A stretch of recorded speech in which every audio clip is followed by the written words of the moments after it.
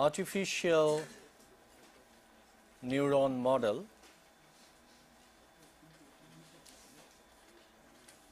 and linear regression.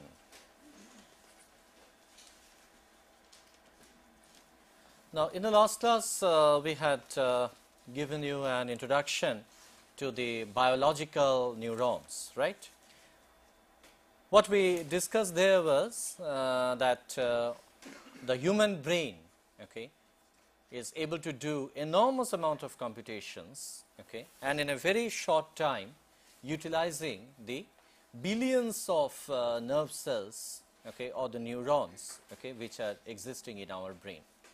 And as I explained in the last class, that these neurons are interconnected to each other okay, in the form of a network.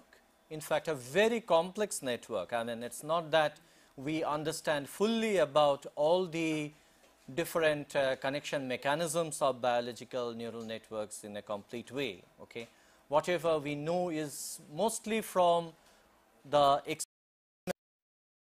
been performed and uh, this is uh, mostly the scientists uh, observations and beliefs okay which uh, I mean has led to some kind of a model making for the biological neurons and essentially it is the biological neuron model which we will have to adapt okay in order to do the computations for our purpose. So, what we are considering is the artificial neuron model and the name artificial itself means that it is different from that of the biological neurons. Okay. The first thing is that uh, we in a typical artificial neural network uh, structure, we are not going to consider so many number of neurons. I mean, it is only a small manageable number of neurons that we are going to consider. Okay that too for solving specific problems. And as, as I told you that if I have to list out the uh, different applications of neural network, then that list is never going to be complete because we can imagine the applications of neural networks in any application domain. I mean, be it science, be it technology, be it any type of uh, market forecasts, weather forecasts, I mean many applications, okay, signal processing, biological applications where we can, I mean, apply the neural networks in a very big way. And in fact, uh, I mean neural networks along with the fuzzy systems, okay, they are very popular, they are uh, going to be very popular for the uh, I mean domestic appliance controls. Okay, I think all of you must have heard about that, the neuro fuzzy controllers. So, there are large number of applications which uh, I mean one can think of. Now, coming to the model of the artificial neuron, okay, it needs uh, some introduction. Now, as I was discussing in the last class that uh, the biological neurons are interconnected to each other okay, through what is called as the synapse. Okay. So, I made a mention that it is the synapse which is basically uh, deciding about the strength of the connection, how strong or how weak those connections are. Typically, a nerve cell or a neuron could be connected to several other neurons or it might be receiving inputs from several sources. So, if we look at a neuron in isolation, supposing this is a neuron that we are going to consider and there we are basically receiving inputs from a number of sources, right. So, there are plenty and I am just drawing a few. Okay. This may be the input number 1, this may be the input number 2, input number 3 and so on. We may be having n such inputs. So, I just happen to number them from 1 to uh, n. Okay and uh, they are connected to this neuron which is going to do the processing. Now, these neurons are connected to these ones using the synapses. Now, synapses are existing in the biological neural network as I explained, but a very similar concept we drew up for the artificial neurons also, okay, where we model the strength of the connections this way. So, we call the strengths of the connection as the synaptic weights. So, the strengths of the connections will be known as synaptic weights. Weights they decide that how much of strength it is. So, larger the value more strong the connections are okay smaller the values less strong they are. In fact, I mean there is no binding that whether the synaptic weights must be only positive or not. As a matter of fact, it could be positive as well as negative, because even for biological neuron, uh, neurons also or biological the, the, the synapses associated with the biological neurons which we discussed in the last class, we said that they could be either excitatory or could be inhibitory in nature. Now, uh, we will be having such synaptic weights which will be associated and those synaptic weights will be defined for the connection between the input and the neuron under consideration. Now, mind you the input may be received from other neurons also or the inputs may be coming directly from any of our perceptual units. Okay. So, no matter whatever the sources of the inputs are, basically we are receiving the inputs from some source. And there are a large number of neurons existing. And let us pick up a small uh, I mean one particular neuron out of it. And let us say that we index this particular neuron by the letter k. So, this is a particular neuron k that is under consideration and this is receiving a number of inputs and these are having connections or the synaptic weights which will be written as WK1, WK2, WK3 and so on and this one will be WKN. Okay.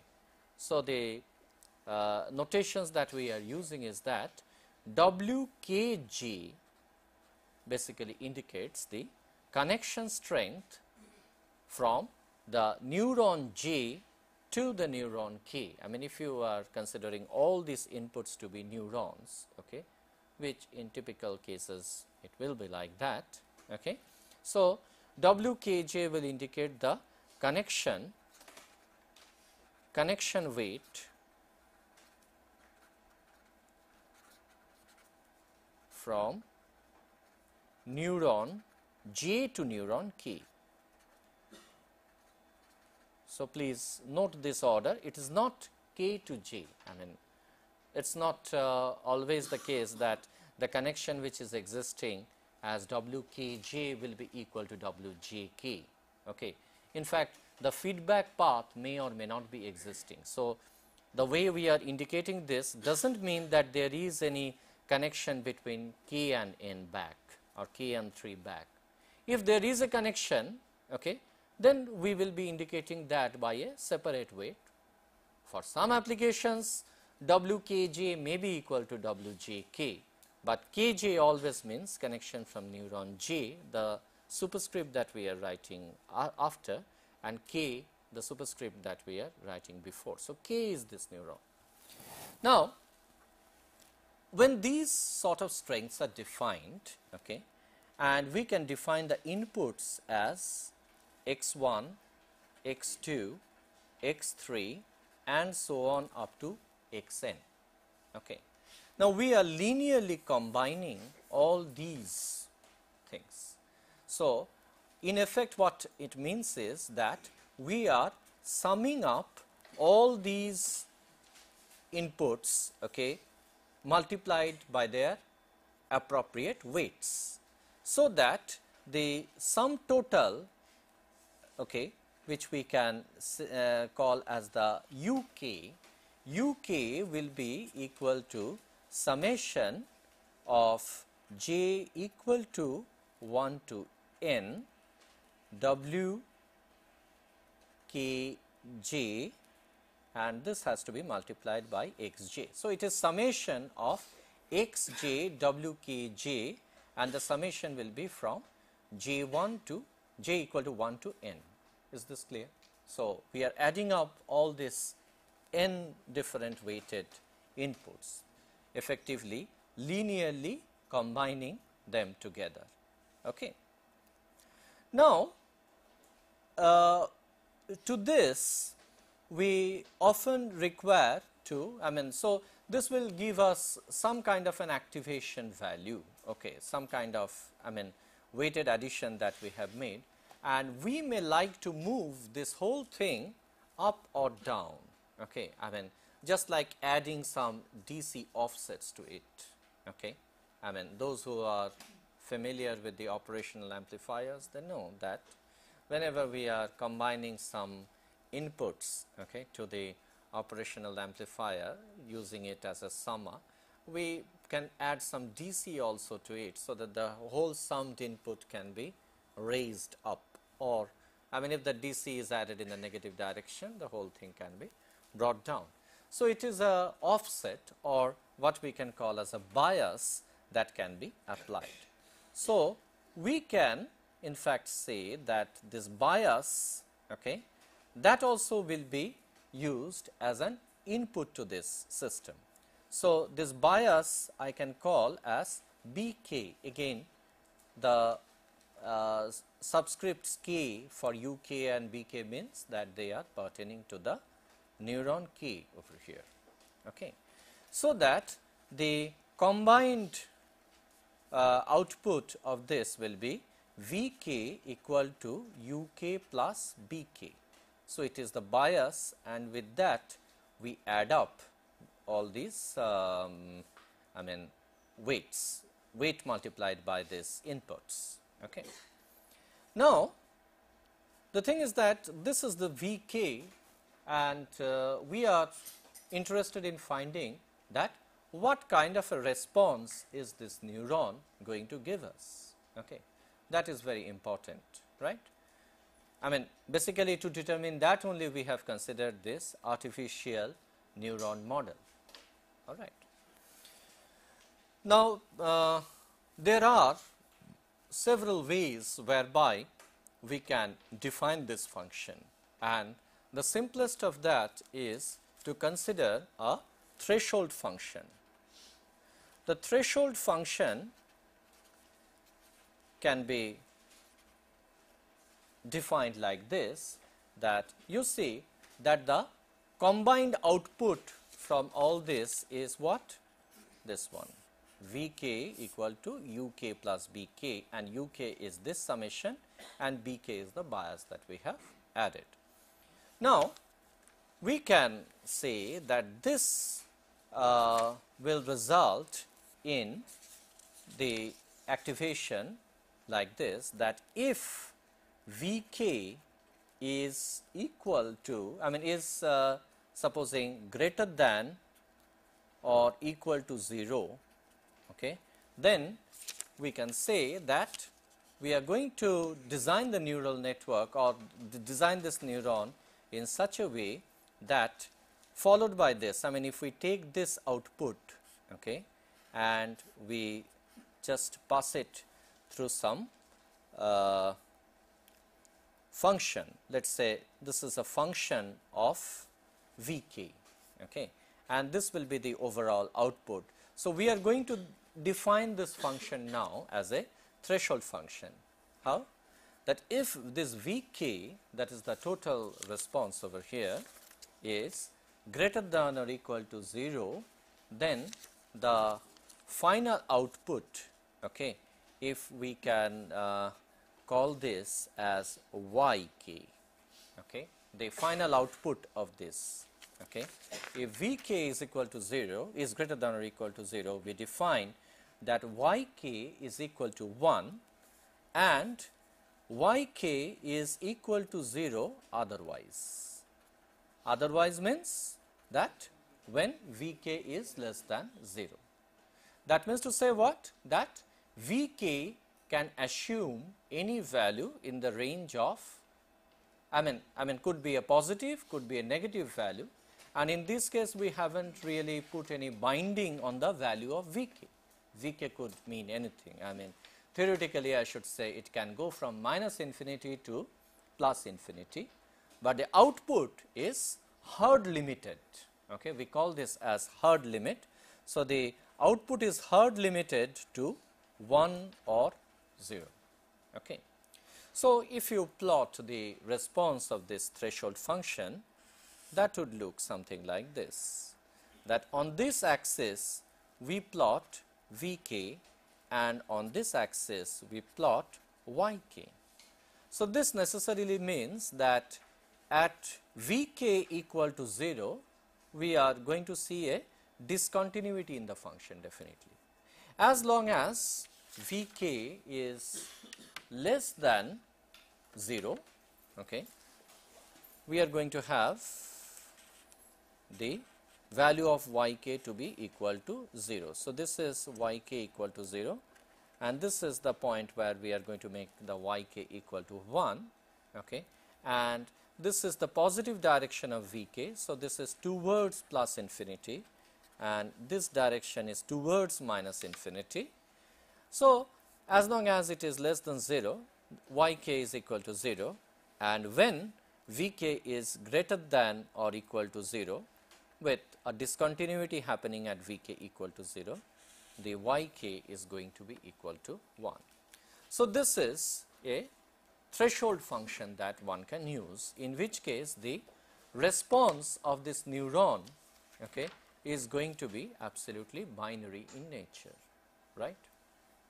Now, in this case we considered that the outputs are going to be 0 or 1 right, but there are uh, some applications where we do not require the binary values modeled as 0 and 1, we quite often need applications where the output is to be modeled as minus 1 or plus 1.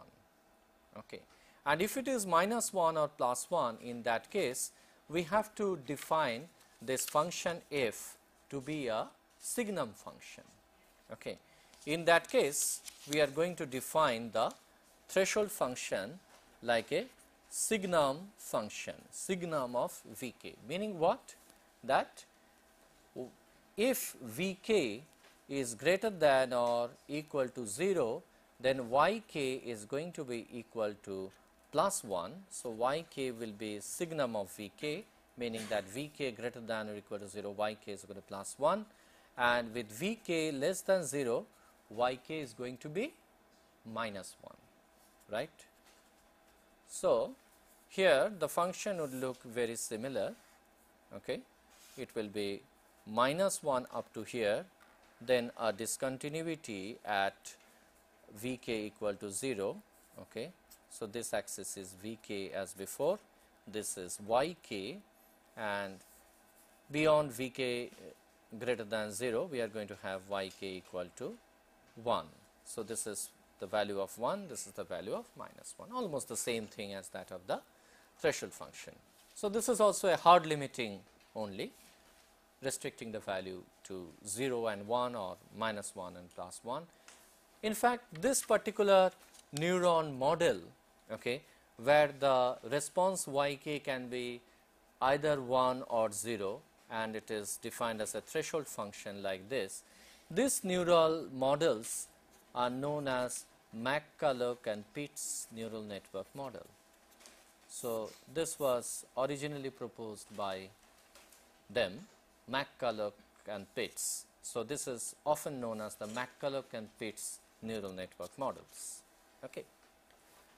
Now, it is not always mandatory that the neurons will behave in this manner only, because after all the kind of problems that we are going to solve with the neural networks, okay, there a wide range of variations in their response is quite often needed.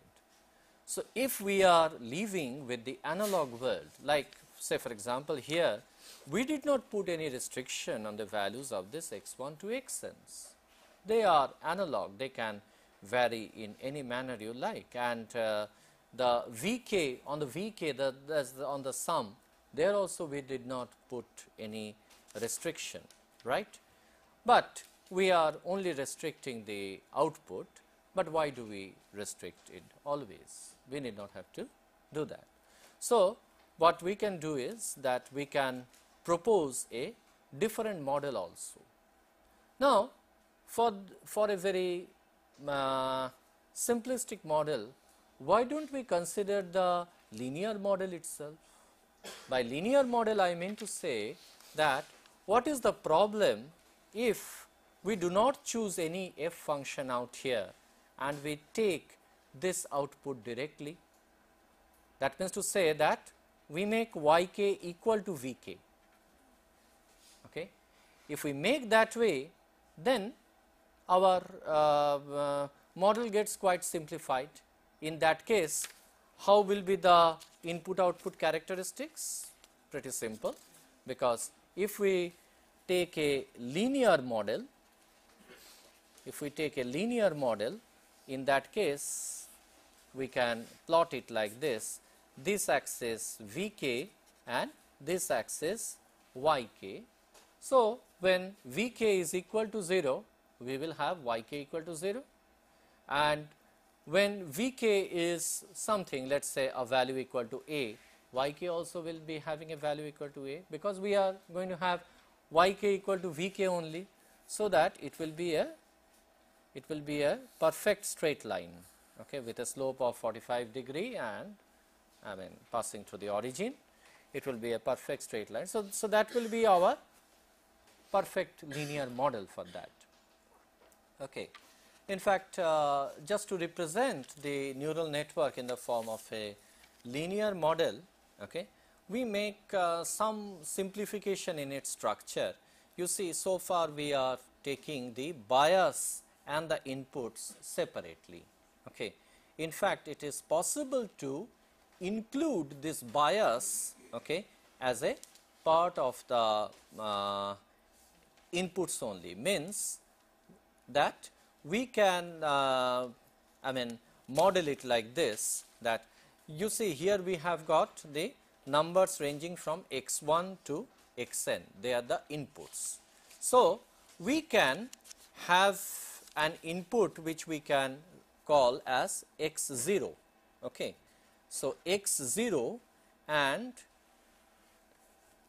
that will be connected to the neuron and then we can have the other inputs as it is. That is to say x1, x2, x3 and so on up to xn. This is xn all right and this weight we are going to call it as w k 0 okay, so that we have x naught w k naught to be equal to b k. Okay. So, what we are simply doing is that this b k rather than representing as a separate bias connection, we are representing it in the form of an input only. After all bias is also an input, but we are just modeling this way. So, WK1, W, uh, so this is WK0, this is WK1, this is WK2 and this is WKN. So, that what happens is that when I write the expression for Vk, I can simply add it up like this xj wkj and in this case I sum it up from j is equal to 0 to n. Okay. So, that is the only difference I mean earlier I was calling j equal to 1 to n and then adding the bias to it in order to realize Vk and in this case I am simply describing it by a single equation that summation xj ykj. Okay. Now, in this case actually the in, in a linear model okay, if it is a perfect linear model then we are not making any restriction about the values which Vk and Yk can assume because like before we are uh, taking the value of Vk in the range of minus infinity to plus infinity. Okay.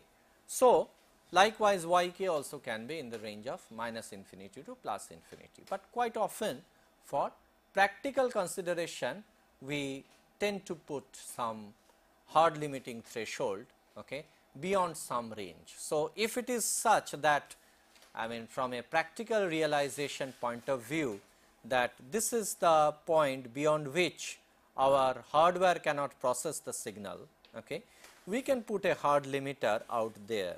Okay. So, that between some range, I mean between this range we can use it as a linear model. Okay. So, when we talk about a linear model that necessarily means that within our expected range of operation, okay, it is going to follow a linear response. It is going to follow this equation which I have just now mentioned that is to say summation of V k is equal to summation of x j w k j and summation ranging from j is equal to 0 to n. Okay. Now, this is a linear model and let us try to see that what could be the application of that. Okay. Where are we going to use this, this kind of a linear model?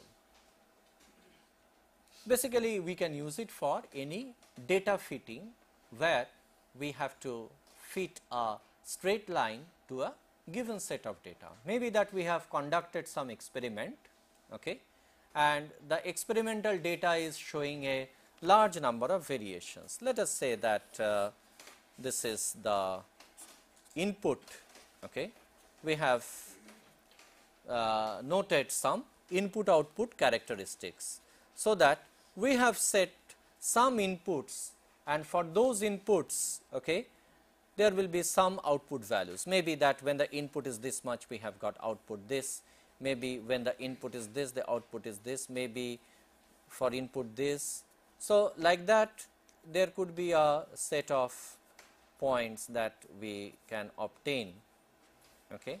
So, this may be the data that you have collected from any experiment can be a scientific experiment, can be any experiment that you would like to do. Let us say, let us take some very simple example. Supposing you are trying to uh, plot uh, the uh, weight of a person against the height. Okay, so on this axis we have weight and on this axis we plot height. Now, it is uh, known that generally the persons having, I mean the persons who are taller, they tend to have more weight as compared to the persons who are short. Okay. Not always the case because I mean the weight of a person is not dependent upon height alone. The weight in fact will be dependent upon so many factors. I mean his height, his basic physique, okay, then his uh, uh, I mean food habits, okay, his calorie intake, fat intake, I mean his dietary habits, then also uh, how much of calories he burns, okay, how much of exercise he performs every day. On so many factors, the weight of a person will be dependent.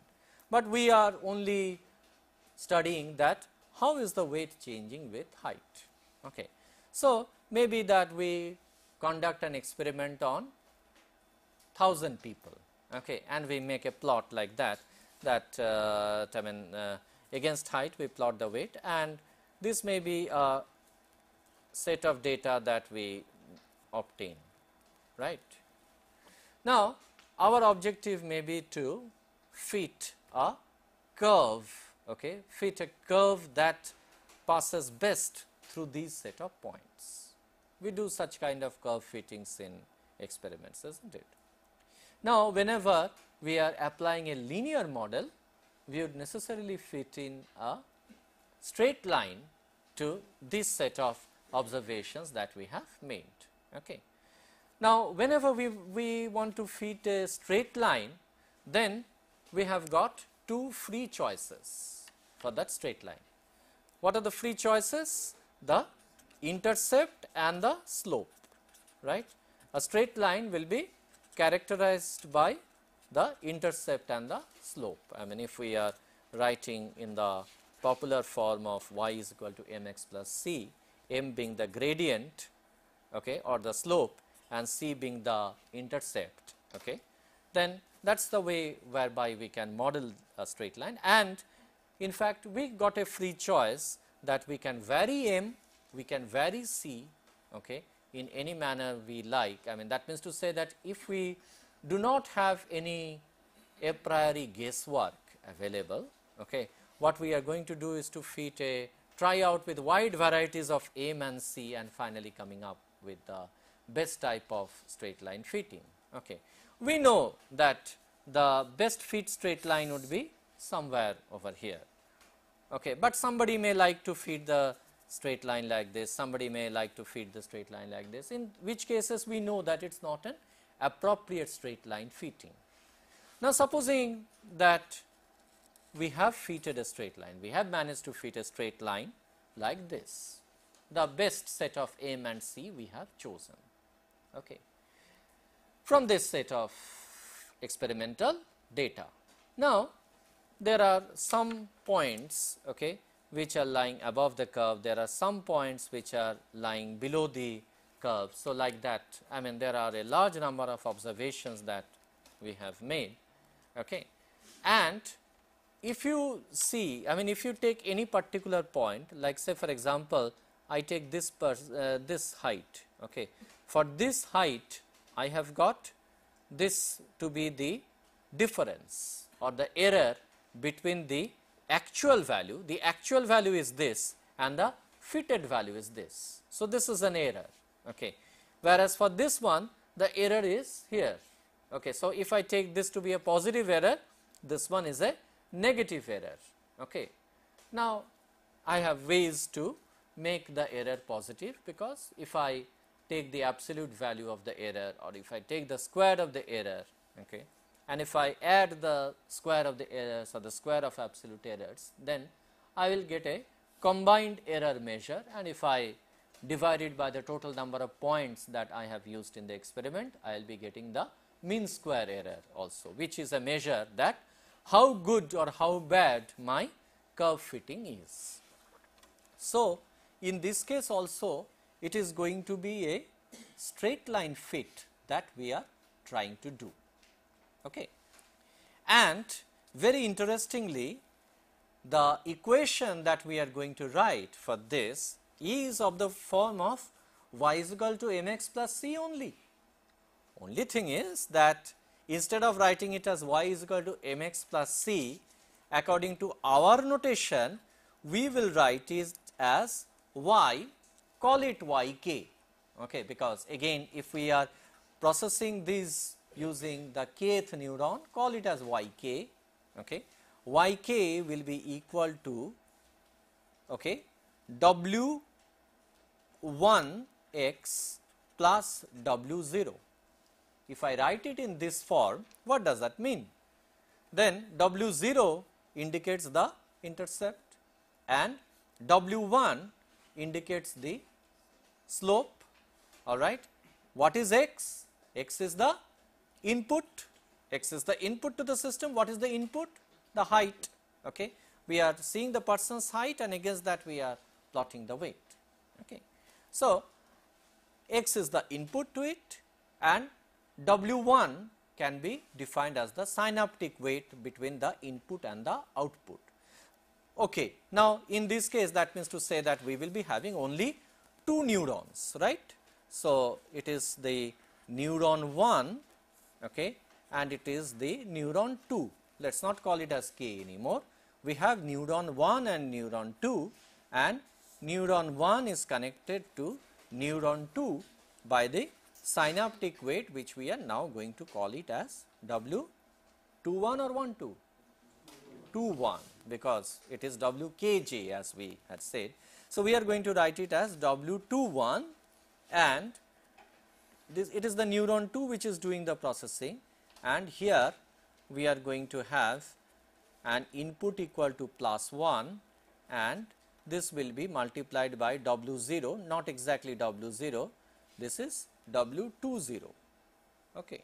so that the overall response that is y 2 will be equal to w 2 1 into here the input will be I mean although I have written it as 1, 1 is the neuron number, but its input will be x. So, it will be w 2 1 into x plus w 2 0. So, that the whole thing is modeled as a very simple neural network okay, whose response will be in this case y 2. It is a linear response that is being made okay, and the input to this is x okay, multiplied by w 2 1 the synaptic weight and w 2 0 this indicates the bias. So, the bias in this case indicates the intercept. So, the bias stands for the intercept and W 2 1 that is the synaptic weight that stands for the uh, slope. So, this is the slope and this is the intercept. So, we can so that means to say that fitting a straight line to this set of data means that modeling it to a neural network. Because after all what we have to determine just like the way to fit a straight line we have to make a good choice of this M and C. Very similarly we need to have a good choice of this W21 and W20. If we can make a good choice of W21 and W20 then the job is done. And what job is done? Like in this case you see that if somebody gives me the height of some unknown person means this is the set of data that I have gathered during my experiment during my trials I have gathered this data. So, now that I have got this data and I have fitted a straight line if someone else's data is put in or if I know the height of somebody okay then I can easily use this curve in order to say that if it is given that okay the height is this much then the corresponding weight will be this much that is what we are going to say because this will be the weight that we are going to interpolate out of it. Okay. So, likewise here also uh, uh, what happens is that once the neural network is trained okay, with some patterns with some inputs okay, and you feed some unknown input to this system okay, in that case it will be behaving with whatever weights with which it has already trained. So, the neural network has already trained itself with some W21 and W20. That means to say that it has already fitted a straight line like this. So, now if we just feed some unknown input to it, then we will get the corresponding output, which will be as per the fitted data, correct? That's right. Chances of the person having that height, having a weight, there will be some chances not exactly. Uh, well, I mean, uh, uh, let's not uh, talk in terms of probability at this point. All that we are trying to say is that, okay, this is the fitted data. So, I mean, uh, because it is an unknown data to it, I mean, we can at best conclude that we are going to have this particular point. Now, I mean how good or how bad that is with respect to the actual data that we are not knowing yet. Okay. So, it is after conducting a large number of experiment. In fact, to be very honest with you, this experiment is not at all a good experiment because as I was telling you that he, here I have assumed that the weight of a person is dependent on only one factor that is the height which is not at all true. It is dependent on many factors. So, in fact, if we now start listing the different factors to which it is uh, related to, in that case we are going to get different curves. Like if now for say for example, I uh, um, uh, pl plot a curve as weight as plotted against the average calorie intake of a person. Okay. Then also I will get a separate curve out of that. Okay. Or I mean all the parameters with which something is dependent upon, okay, if I plot all these together, then effectively I will not be getting a model like this, but for each one of the inputs, okay, I am going to get a uh, straight line fit of this sort of nature. So, that ultimately it will be a combined fitting of linear response. Okay. In fact, I mean uh, yeah it will be like this that supposing there is uh, some output okay let us say that uh, the output to this neuron is dependent upon this two set of datas. Okay. So, I say that these are coming from the neuron 1 and the neuron 2 and supposing this is the neuron 3 whose response we are trying to find out and also there is a bias. So, that I say that this is plus 1. So, this is W 30, this is W 31, this is W 32 and then this one will be the Y 3. In this case what happens is that your Y 3 will be equal to W 30 that is to say the bias okay, plus W 31 we call it as x 1 plus W 32 we call this as x 2. Okay. So, this will be the combined output. Okay. So, that we get. So, now that y 3 is dependent upon two inputs, y 3 is a function of x 1 as well as x 2. So, we get two slopes pertaining to that one associated with x 1 and the other that is associated with x 2. So, this is a two dimensional problem now or rather modeled it as a two input network and like this we can extend. So, essentially it is a data fitting problem that we are doing. And let me also tell you about, uh, I mean it is not that always it will be linear curve fitting that we are going to do. Supposing the observed data is say of this pattern. Supposing this is the input and this is the output and the observed data pattern is like this.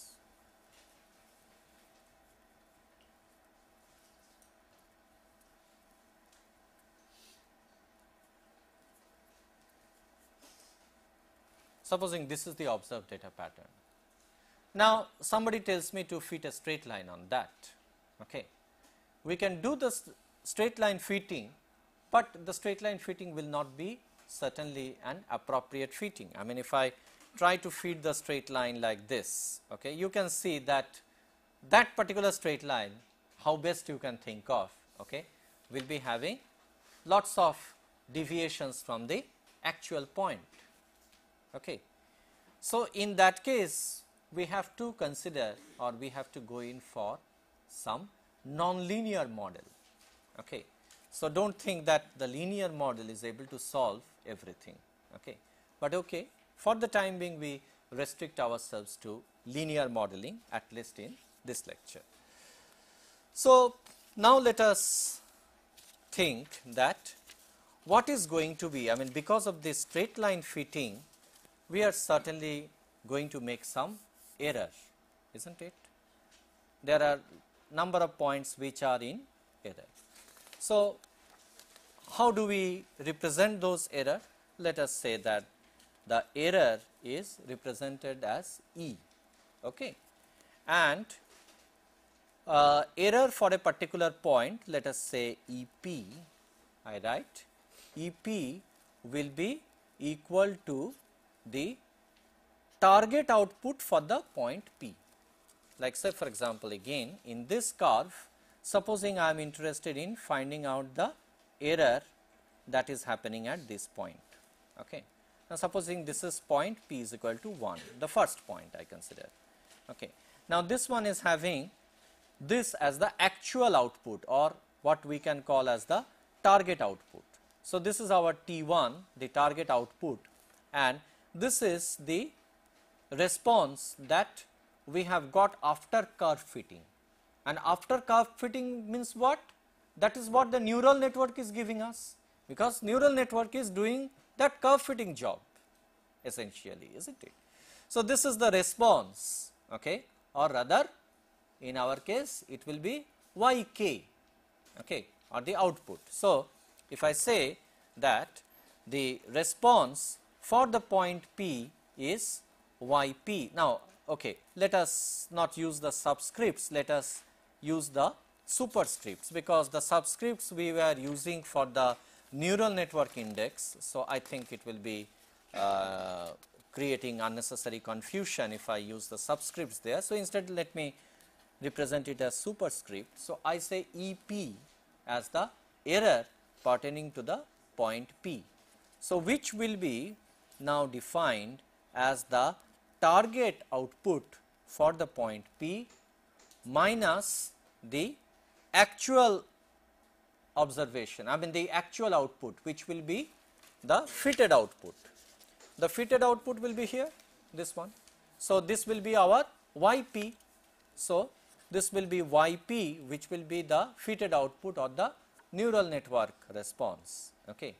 And if I square it up in that case I will be getting the error term or rather the squared error.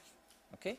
And what I have to do is that in order to determine the total error for all these set of points that I have got, I have to define as summation of this E p and to be summed up over p.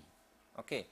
Means whatever points are there under this set of p, I have to include all of them which means to say that it will be summation of this T p minus y p whole square. Okay. This will be the summation of errors all right. Now, why do we measure this error? Okay.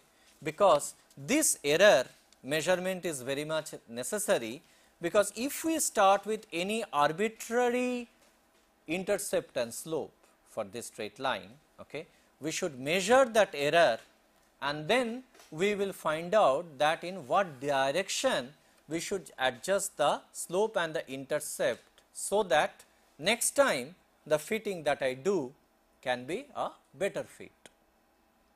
So, if I start with some initial assumption about the intercept and the slope okay, or to talk in terms of the neural network, if I start with some initial assumption of this W 1 and W 2, okay, then what I have to do is first measure that how much of error am I doing in the process? And then dependent upon that error okay, I have to adjust these W's or in terms of this I can say I have to reorient the straight lines, intercept and the slope so that next time the fitting is better. Next time also I do the same measurement that with the better fitment I calculate the uh, errors, okay, the error over all the points P, okay, and I this time come up with a new error measure. This new error measure may be less or better than the earlier error that we had got. Accordingly, we reorient the straight line. Say for example, supposing this is the initial, I mean, I mean this is the final straight line that we have fitted, okay. But supposing with the initial set of points, I place my guess to be like this, that this is the initial slope. Now, I slowly I turn this so that after a few iterations I get the straight line fitted as follows, okay, where the error becomes minimum. Because what happens is that if I try to orient this uh, straight line more, then again the error will be increasing, is not it. So, we are orienting from here to there and then we are finding out that where the error becomes minimum. Okay. So, our objective in a neural network also to be to, to find out that where are we going to find that minimum error. If we now start making a plot of let us say in this case in this uh, simple kind of neural network that we have considered out here okay take this model all right what we are doing? We have got x as the input and we have y as the output, right? And we are going to adjust which parameters W20 and W21 in order to determine the minimum error. So, what we can do is that over all these set of points, okay, we can calculate that how much of error, I mean how much of combined error measure that is E we obtain for different values of W21 and W20 and supposing we make a 3D plot like this, 3D plot where uh, let us say that on this axis I put say W 20 on this axis supposing I plot W 21 okay? And on this axis I plot the error okay. So, it is a 3D plot now. Can you imagine? It is becoming a 3D plot. You vary W20 in its entire range. You vary W21 in its all possible range. And there is one particular solution where this straight line is going to have the best fit and there the best fit means that where the error is going to be minimum. So, it will be ultimately a surface like this. Okay. It is a 3D surface okay, that can be imagined to be like this. I mean if this is a surface then I mean you can okay you can imagine that this is a 3D surface which will result out of all the possible values of W20s and W21 and there will be one particular point where we are going to get the minimum E and that is the point which we want to reach. Is it followed? That is the point where we want to go. Now, okay, imagining a 3D surface is little difficult. I mean, we find it difficulty in visualizing a 3D surface. So, let us visualize in a better way. Let us put a cutting plane and just try to observe the 2D projection of that okay, on that particular plane. Okay. In that case, our problem in a 2D could be modeled as follows like if we have a curve of E. Okay supposing on this axis we are plotting E and let us say that instead of two variables here W20 and W21 we have got only a single variable. Okay some variable which we have plotted in this direction. Now we are going to reach the minimum point over here. But what could be our starting point? To start with in this example, in this case for example, we could start with any value of W20 and W21. Okay. We could be on this part of the surface, we could be on this part of the surface, we could be anywhere on the surface. Okay. But ultimately we would like to reach this as our destination. If we could reach this destination, then I can say that the problem that I am going to solve with this kind of a neural network model is going to converge. If it does not, then really I have to doubt about the usage of this kind of neural network models at all. Okay. It has to reach this. So, what happens is that if this is our starting point, I mean on a 2D error profile, if this is the starting point, okay, then just see what happens is that if you are considering this error curve, this error characteristic, error versus some parameter, supposing this is a parameter w that we take, okay. then if you are taking the partial derivative of this uh, E with w, okay, assuming that a very similar plot you also get for the other w's also. So, E is not dependent on this w alone. So, that is why it is a partial derivative that uh, we decided to take. Now, in this case what happens is that what is the slope of these uh, dou E dou W? Okay. The slope is like this. Okay. It is in this direction. But if we are in this position, then on this curve, with respect to this curve, we should slide down in this direction, isn't it? We should make a slide down in this direction, so that by sliding down further, we ultimately come to this point. Okay. We may not be able to reach this point, this minimum point in one iteration. We may take several iterations in order to reach it, but ultimately we should reach it. Okay. Something you can imagine like this that you get a bowl okay, where you have just placed some small ball over here okay, and you have allowed that ball to roll down the surface of that bowl. Where that ball will ultimately reach? The ball ultimately comes to the point of minima, is not it? Okay. If we allow the ball to slide down freely, okay. if we do not allow it to slide down freely, if we try to forcibly make it, okay, things may be good, things may be bad. Okay.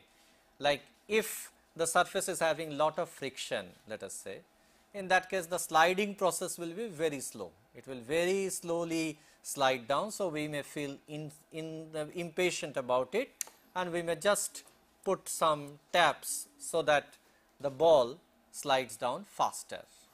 But if we are I mean too much uh, ambitious about its fall that no the fall should be much faster than that then we are going to shake it so vigorously that it may ultimately leave the surface completely and just the ball will fly away. Okay, it can happen. So, we have to be careful about that, but the objective is that if you allow it to roll down freely, then it roll down okay, in the gradient descent, in a gradient descent way. If the ball lies here, it comes down this. If the ball lies in the opposite slope, that means to say here the slope is this is, is in this direction, but the ball has to roll down like this. So, it is always against the slope that it is sliding down. So, this technique is known as the steepest descent. Okay. Steepest descent approach. So, this will be something that we will discuss further okay, in the next class. Okay. Any